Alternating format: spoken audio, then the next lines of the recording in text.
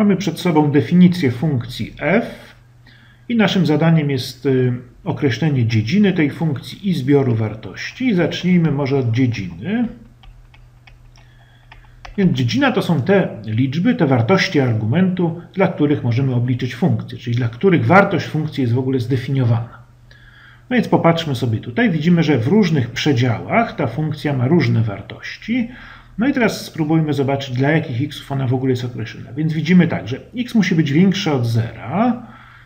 Dla x równego 0 no ta funkcja nie ma wartości, prawda? Również dla x mniejszego od zera też nie wiemy. Czyli x na pewno musi być większe od zera. Więc patrzymy tutaj. Jak mamy x od 0 aż do 2 włącznie z dwójką, no to mamy wartość 1. Po tym jak x jest większy od dwójki, to 5 aż do 7. Każda liczba mniejsza od 7 jest dobra, tutaj do piątki. I po tym jak x się staje 7, no to wartość też już jest określona, jest minus 7, aż do 11, włącznie z 11. Czyli x jest pomiędzy 0 i 11, czyli x musi być ściśle większe od 0 i mniejsze równe 11. Czyli to jest dziedzina, dziedzina naszej funkcji. Wszystkie liczby rzeczywiste większe od 0, mniejsze równe 11. No inny sposób zapisu to jest taki znaczek x należy do przedziału 0, 11. No to jest przedział, który z lewej strony jest otwarty. No dokładnie to znaczy tyle. Inna notacja, jak było w filmie o przedziałach, czasem stosowana jest taka notacja. To jest to samo. No i czasem jeszcze jest stosowana taka notacja. 0 otwarty, 11 domknięty. Prawda? To są trzy spotykane notacje na x spełniające taką nierówność. Więc to jest dziedzina, czyli dziedzina tej funkcji jest przedziałem, prawda? Od 0 do 11. Teraz zbiór wartości.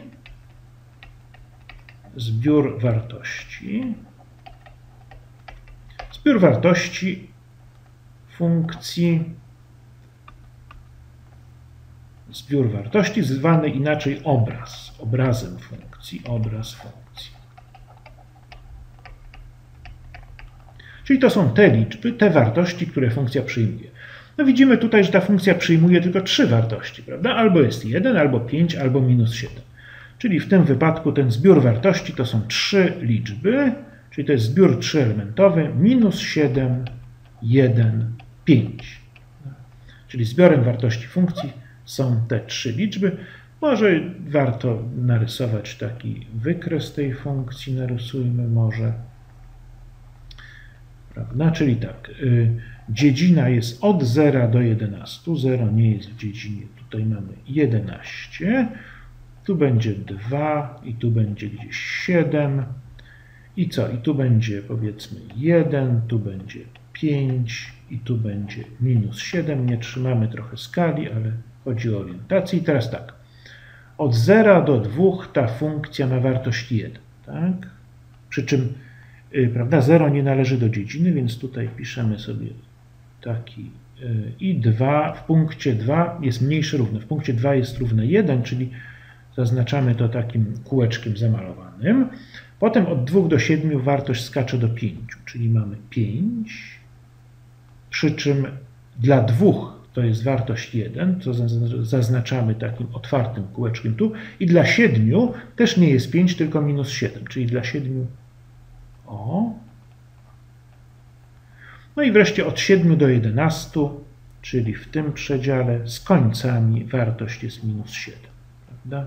O. I to jest wykres tej naszej funkcji f od x. No.